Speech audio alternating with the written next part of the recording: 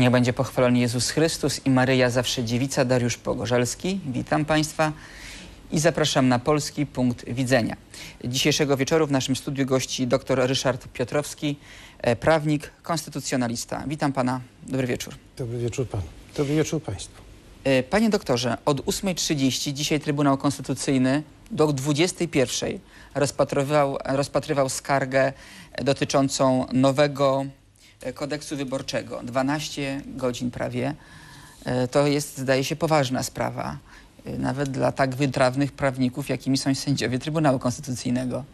Tak, sprawa jest bardzo poważna, ale też sędziowie Trybunału Konstytucyjnego, jak pan redaktor zauważył, należą do e, prawników szczególnie wybitnych, a to oznacza, że nie spieszą się przy podejmowaniu rozstrzygnięć i starają się rozważyć wszelkie za i wszelkie wątpliwości e, po to, żeby dokonać tego wyważenia wartości pomiędzy różnymi wartościami konstytucyjnymi, bowiem jest ulokowana ta sprawa, o którą chodzi. A tutaj zdaje się czas jest dość ważny, bo właściwie wybory już y, niebawem. Prezydent zapowiedział, że prawdopodobnie będą 9 października i teraz tak, czy te wybory odbędą się na podstawie starych przepisów, czy na podstawie tych nowych przepisów, jeśli one będą zakwestionowane, bo nie wiemy tego, to się wszystko okaże w najbliższą środę.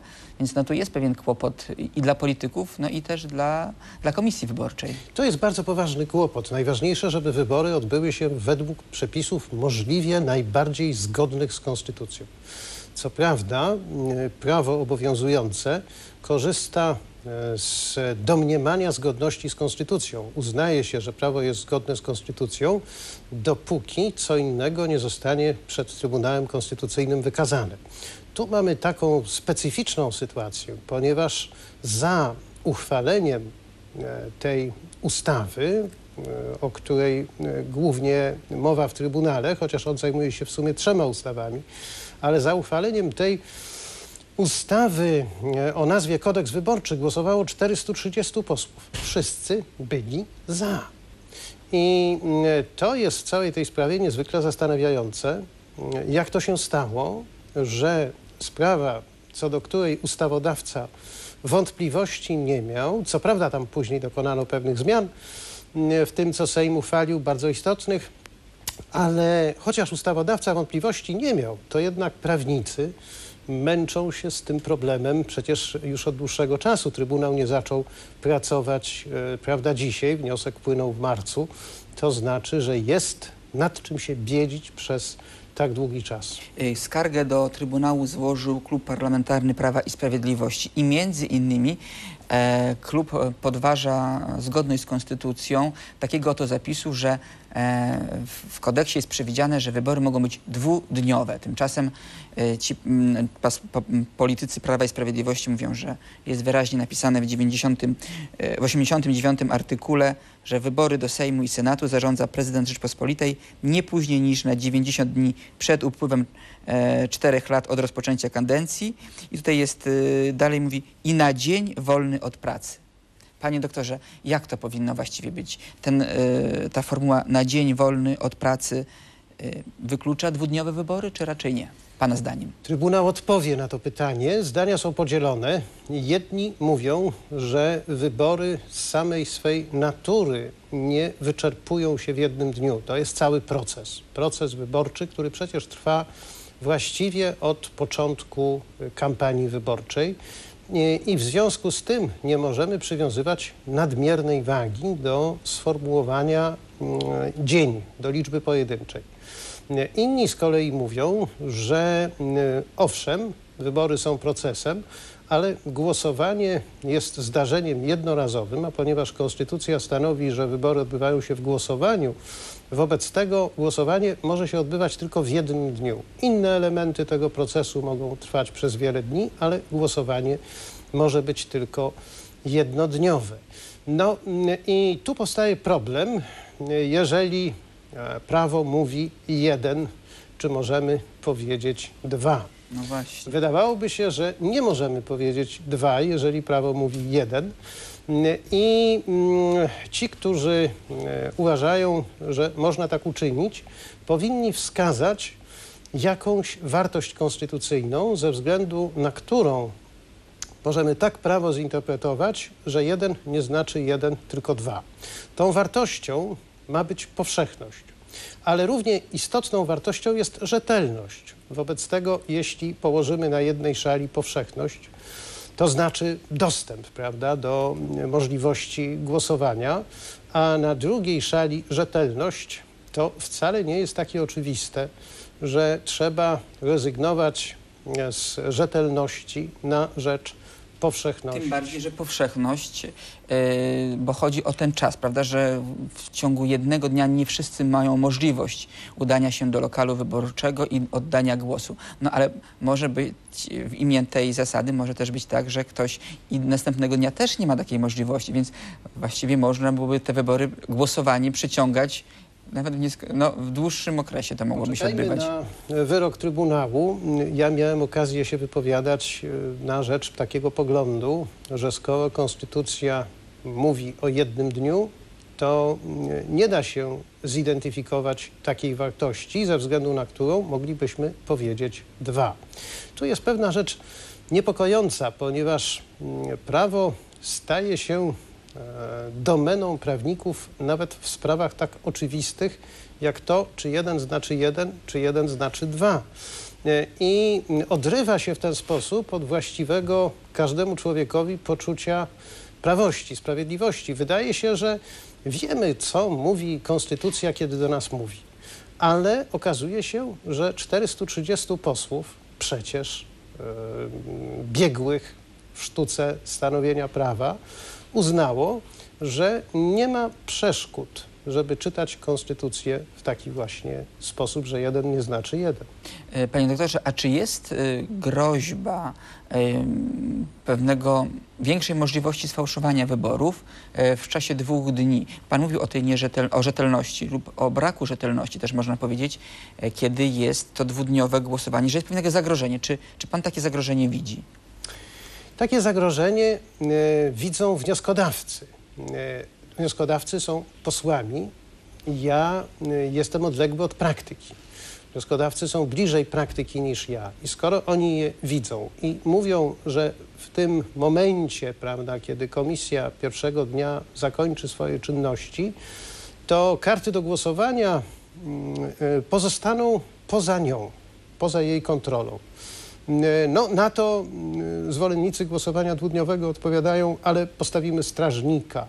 Na to przeciwnicy mówią, ale przecież ten strażnik nie jest komisją, ten strażnik jest zależny od władzy wykonawczej i mm, ponieważ prawo ustrojowe powinno być przygotowane na czarne scenariusze, na to, że właśnie może zdarzyć się jakiś przypadek nadużyć, to trzeba mm, zrobić wszystko, żeby wyeliminować tego rodzaju niebezpieczeństwo. To jest bardzo istotne, dlatego że jeśli postawimy znak zapytania nad rzetelnością procedur wyborczych, to wtedy i ci, którzy stanowią prawa, znajdą się w cieniu tych wątpliwości. Y, Jest też wątek podnoszony kosztów. No, ja rozumiem, że to nie, nie dotyczy sensu stricte rozwiązań prawnych, natomiast y, no, jakby prawo też jakby ocenia i rzeczywistość. No i jest ten problem dodatkowych pieniędzy. E, Być może też z tego powodu prezydent już zapowiedział, że to będzie jednak jeden dzień przeznaczony na głosowanie, a nie dwa, uprzedzając oczywiście wyrok Trybunału, bo też prezydent nie wie, jaki będzie ten wyrok. Pana zdaniem to też przemawia za tym, że były jednodniowe wybory, koszty? Moim zdaniem tak.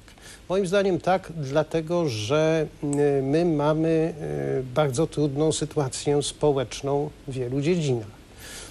Nie- chcę y, przytaczać tutaj danych dotyczących zakresu ubóstwa. My y, przecież organizujemy zbiórki publiczne na y, potrzeby związane y, z służbą zdrowia. Braki, prawda, co roku jest Wielka Orkiestra Świątecznej Pomocy, ona tam gdzieś koło 50 milionów Akurat tyle, co kosztuje Co, co akurat Zgromadzi- drugi dzień wyborów. No prawda, właśnie. A pochłonie. teraz y, jakie efekty mielibyśmy, e, mielibyśmy? Większe możliwości udziału w głosowaniu.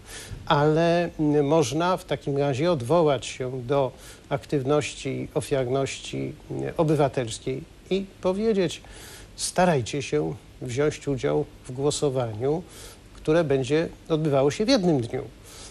I to oszczędzi e, kosztów, rozwieje również rozmaite wątpliwości, no ale to wszystko mm, wiąże się z praktyką.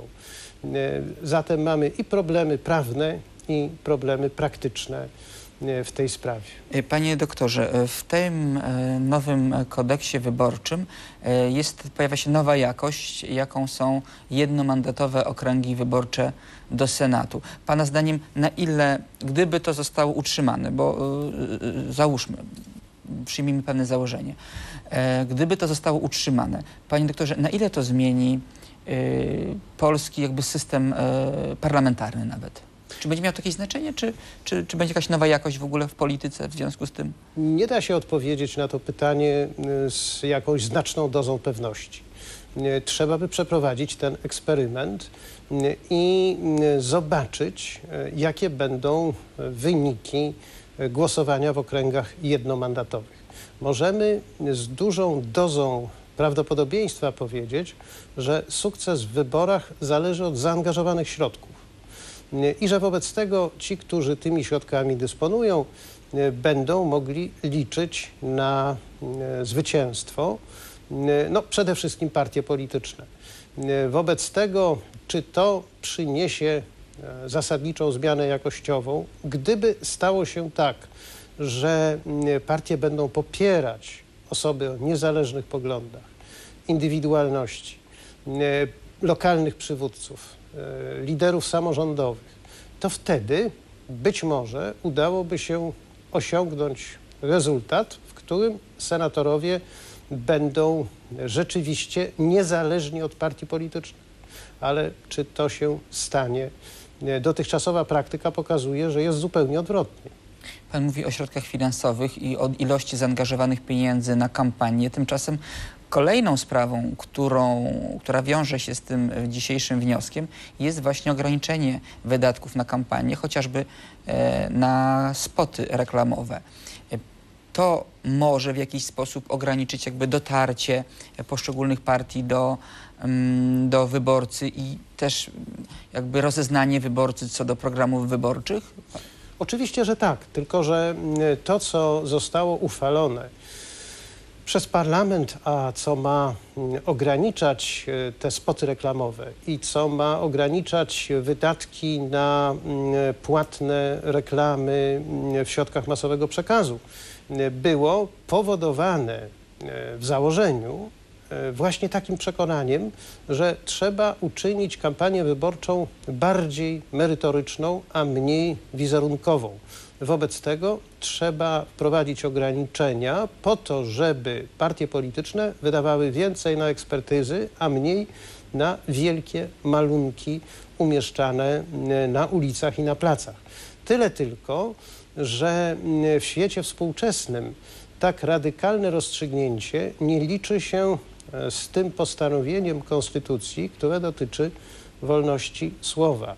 Wolność słowa można ograniczyć. Pytanie jednak, czy tego rodzaju ograniczenie jest rzeczywiście konieczne i czy rozrzutność partii politycznych oraz brak chęci do wydawania na ekspertyzy może motywować ustawodawcę do tego, żeby wprowadzał e, radykalną, zasadniczą zmianę reguł e, w tych wyborach i w ten sposób rzeczywiście umniejszył zasób informacji, e, które będą w dyspozycji wyborcy.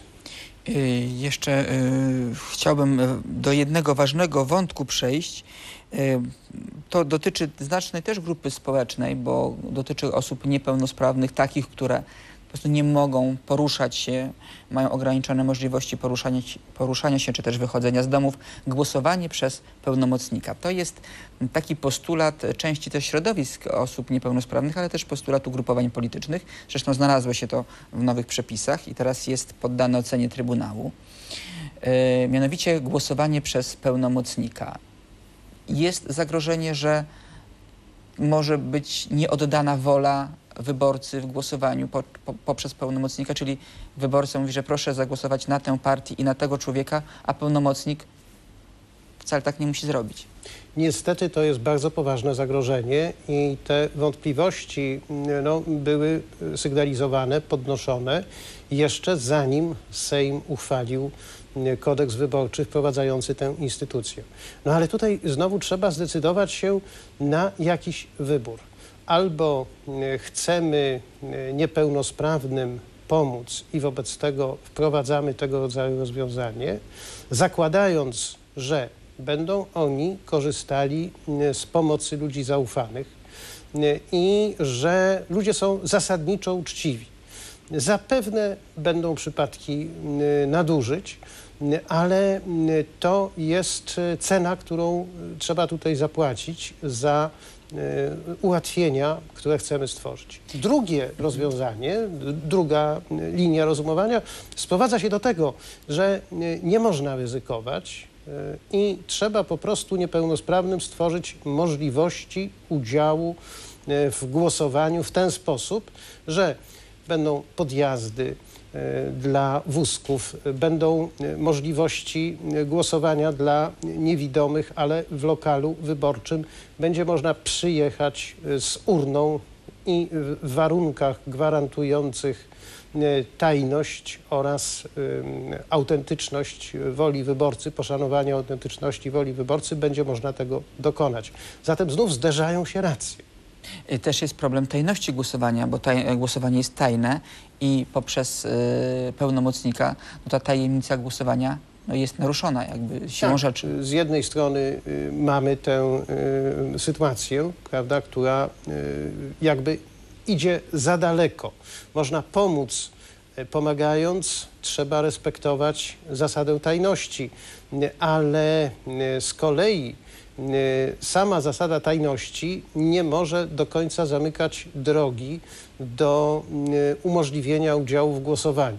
Z drugiej strony może być również sytuacja, w której osoby niepełnosprawne zostaną poddane presji, co byłoby szczególnie niekorzystne ze względu na wolność, na wolność i godność każdego człowieka. Wobec tego, ponieważ tyle lat funkcjonowało rozwiązanie, które nie angażowało pełnomocników w takim zakresie, to może trzeba pomyśleć o innych ułatwieniach, czasem może i kosztownych, ale mniej ryzykownych. Rzecz wymaga rozstrzygnięcia. A możliwość głosowania korespondencyjnego przez osoby mieszkające za granicą. Tam jest problem z dotarciem do lokalu bardzo często. Tutaj y, wnioskodawcy wskazują na niebezpieczeństwa również związane z ewentualnością nadużyć. To znaczy polegające na tym, że y, karty do głosowania będą znajdowały się poza komisją i y, ten moment, w którym one będą między e, głosującym a konsulem jest praktycznie biorąc poza kontrolą. Różne rzeczy mogą się tutaj zdarzyć. I w związku z tym trzeba e, tę ewentualność negatywnych scenariuszy uwzględniać i głosowanie korespondencyjne, powiadają wnioskodawcy, uznać za zbyt ryzykowne, zbyt odległe od reguł rzetelności. Czy nie jest czasem tak, że przesadzamy z innowacjami w prawie? Czy nie jest czasem tak, że y, ta dążność do możliwie szerokiego otwarcia bram do udziału w głosowaniu stwarza jednak pewne ryzyko? No, 430 posłów e, powiedziało, wszystko jest w porządku, ale potem pojawiły się wątpliwości. Jak widać, wątpliwości bardzo poważne. Może więc e, dobrze, że jest przestrzeń e, do tego, żeby te wszystkie wątpliwości rozważyć i potem, kiedy już przyjdzie do wyborów, mieć pewność, na tyle, na ile można mieć pewność, że stworzono rozwiązania wolne od ryzyka. Panie doktorze, y, no teraz wszystko w rękach e, sędziów Trybunału Konstytucyjnego i no to oni zdecydują, na ile te wszystkie wątpliwości zgłaszane przez, przez opozycję, przed, przez wielu prawników, prawników e, no zostaną uwzględnione, a na ile e, zostaną utrzymane. Panie doktorze, bardzo dziękuję za rozmowę, Dziękuję za bardzo. wyjaśnienia. Dziękuję Państwu. Dziękuję także Państwu za uwagę. Naszym gościem dzisiejszego wieczoru był dr Ryszard Piotrowski, prawnik, konstytucjonalista. Dziękuję pięknie. Dziękuję bardzo. I dziękuję Państwu za uwagę i zapraszam na Polski Punkt Widzenia już jutro. Jak zwykle o 21.40 będę na Państwa czekał. A teraz życzę wszystkim dobrej nocy. Do zobaczenia z Panem Bogiem.